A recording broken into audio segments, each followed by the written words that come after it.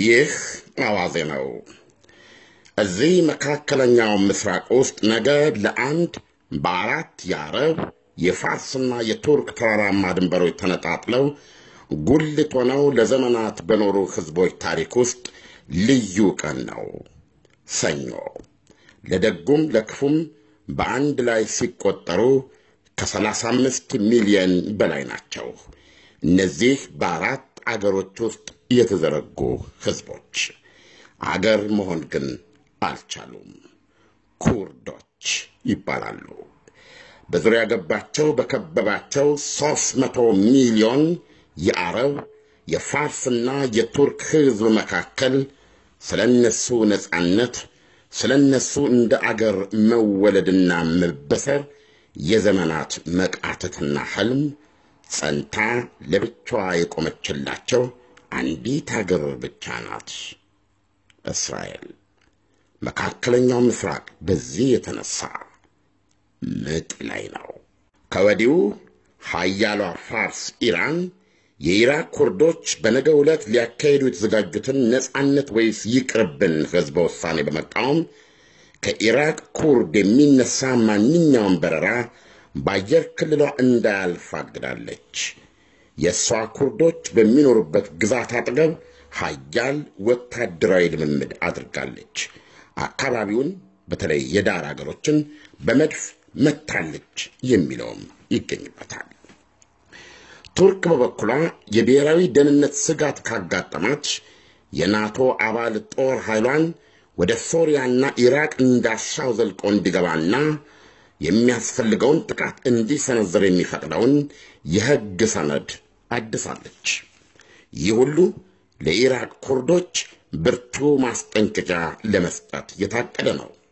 ነገ ሰኞ በዛች ዕጣ ነገ ውሳኔ ሕዝባቸውን ቢቀርባችሁ ይሻላል፣ ሰርዙት ነው እያለች ያለችው። እምቢኝ ብላችሁ ብታደርጉ እንኳን ነጻነት የሚል ቃል ካፋችሁ እንዳይወጣ ባይናት። ይሁንና ከዚህ ከትልቁ ከሚጠበቅ ሕዝበ ውሳኔ 24 ሰዓት ወደዚህ ዛሬ የኢራቅ ኩርዶች መሪ ማሱድ ባርዛኒ ቦምቡን አፈንድተዋል። ይህንን ስም ልብ አድርጋችሁ ያዙልኝ። ማሱድ ባርዛኒ የያሲር አራፋት ካፊያ አይነት ሻሽ ራሳቸው ላይ የጠመጠሙና የድሮ የኢትዮጵያ ወታደሮች battle dress የሚሉትን ግራጫ ቡኒ የ military uniform እስከ ላይ ሸርግጠው የለበሱ ናቸው። ማሱድ ባርዛኒ የኢራቅ ኩርዶች ፕሬዚደንት ናቸው።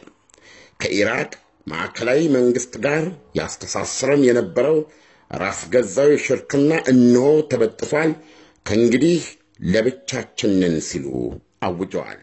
ከነገው ሕዝበ ውሳኔ በፊት ባርዛኒ ያለ አይሁዳዊቱ አገር አይዞህ ሕዝብህን ነጻ አውጣ፣ አይሁዳዊቱ አገር አብራህ ትቆማለች ከሚለው የጠቅላይ ሚኒስትር ቤንያሚን ኔታንያሁ ልበ ሙሉ ድጋፍና ከኃያሉ የሩሲያ ፕሬዝደንት ቭላዲሚር ፑቲን የሚናገር ዝምታ በስተቀረ አሜሪካንን ጨምሮ ሌላ የውጭ አይዞባይ አገር የላቸው።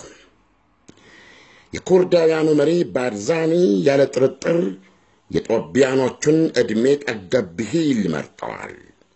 ሰው ታሞ እንጂ ፈርቶ አይሞትም። ሺሞት መጣ ቢሉት አንዱን ገባ በለው።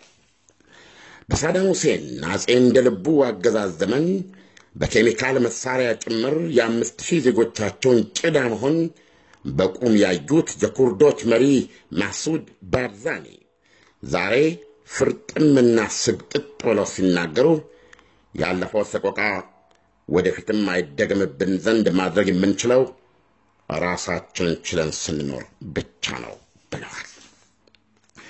የኢራቅ ማዕከላዊ መንግሥት ከልዕለ ኃያሏ አሜሪካ ጋር ድምፁን አስተባብሮና አቀናጅቶ ይህን ለነገ ያላችሁትን ሕዝበ ውሳኔ ብሎ ነገር ሰርዙ ሲላቸው ራሷም ጎረቤት አልባ ሆና ሰርክ እየተፋገመች የጸናቸው አይሁዳዊት አገር በስተቀረ ፈጥኖ ደራሽ ወገን የሌላቸው ባርዛኔ ግን አስር የመትር አንድ ቁረጥ ብለዋል። ስለዚህም ነገ ሰኞ የኢራቅ ኩርዶች የዘመናት ህልም ፍች ጅማሩ እንዲሆን ወስነዋል። መካከለኛው ምስራቅ የሶሪያ እልቂትና የአይሲስ ሽብር ጋብ ባለበት ደመናውም የምሕረት ዝናብ ያዘለ በመሰለበት ዕጣ ፈንታ ምዕራፍ ላይ ደመናውን በቀይ ያቀለመና ውጥረት ያረገዘ ሌላ ሁነት ክልሉን እያስማጠው ነው። ኩርዶችና አይሁዳውያን ምንና ምን ናቸው ለሚለው ጥያቄ The New York Times ታሪክንና ወቅታዊ ፖለቲካን የዳሰሰ ዘገባ ይዞ ወጥቷል። የእስራኤሉ ጠቅላይ ሚኒስትር ቤንያሚን ኔታንያሁ የነገውን የኩርዶች ነጻነት ወይስ ይቅርብን ውሳኔ ህዝብ ብቻ አይደለም የደገፉት።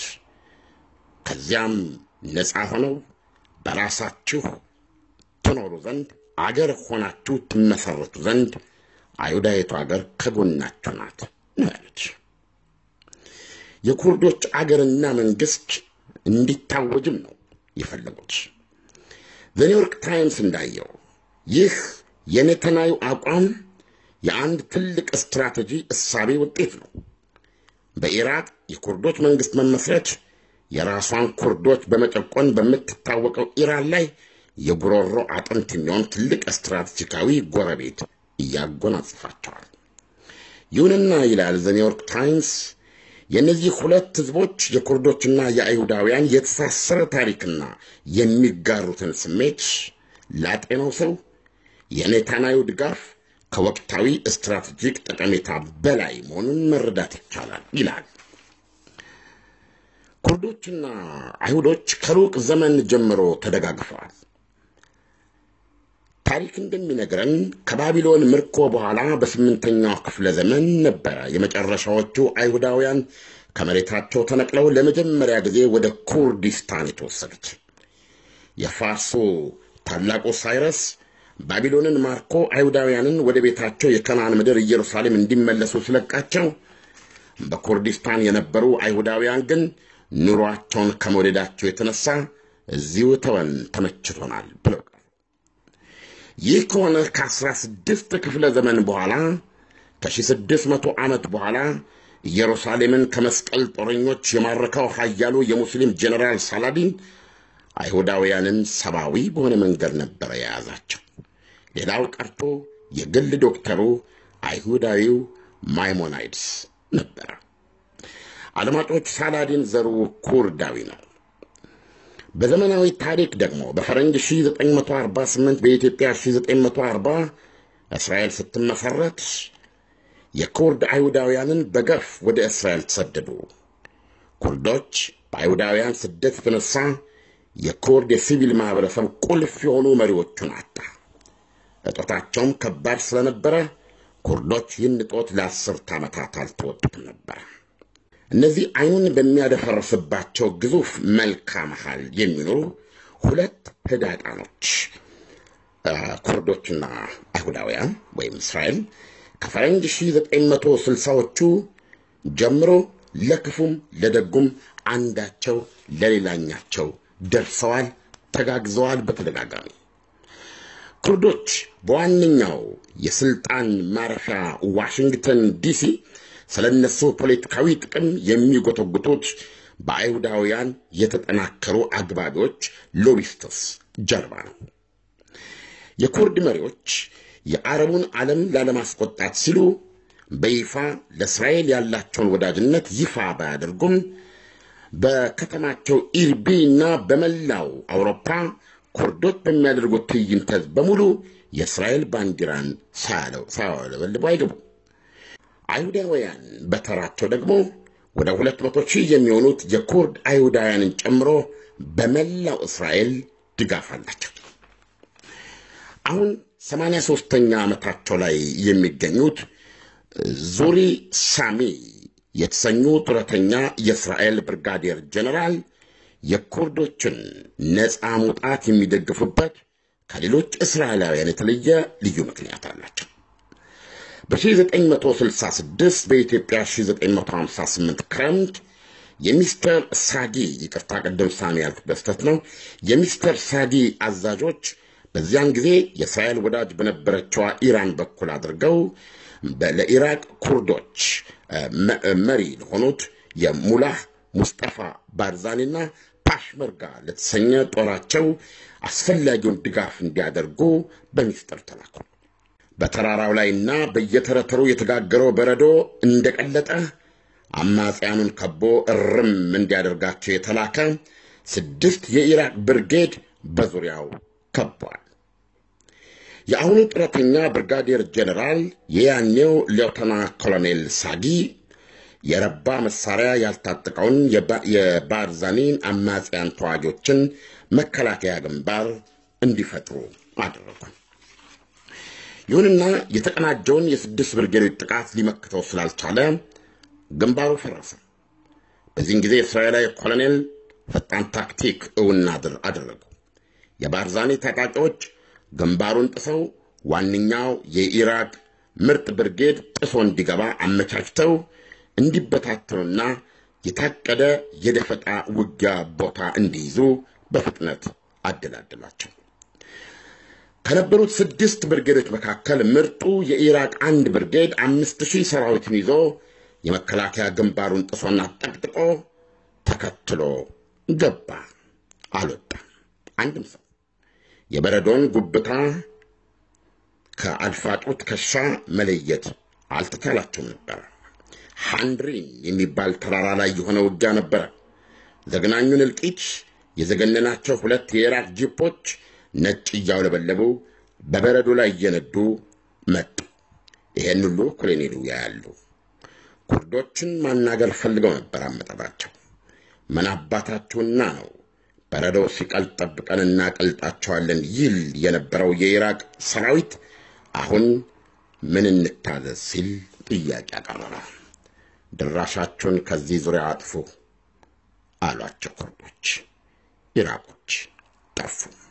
ሃንድሪን ተራራ በኩርዶች ታሪክ ልዩ የታሪክ ጉብታ ሆና ተመዘገበች። ያኔ በጡረተኛው ጄኔራሏ በኩል እስራኤል ውጊያው ላይ ነበረች። ከዛም በኋላ ባሉት ዓመታት የእስራኤል ዶክተሮች በረሃ ላይ ድንኳን እየጣሉ የኩርድ ተዋጊዎችን ማከም ጀመሩ። የእስራኤል ወታደሮች ደግሞ ፓሽመርጋዎችን ማሰልጠን ቀጠሉ።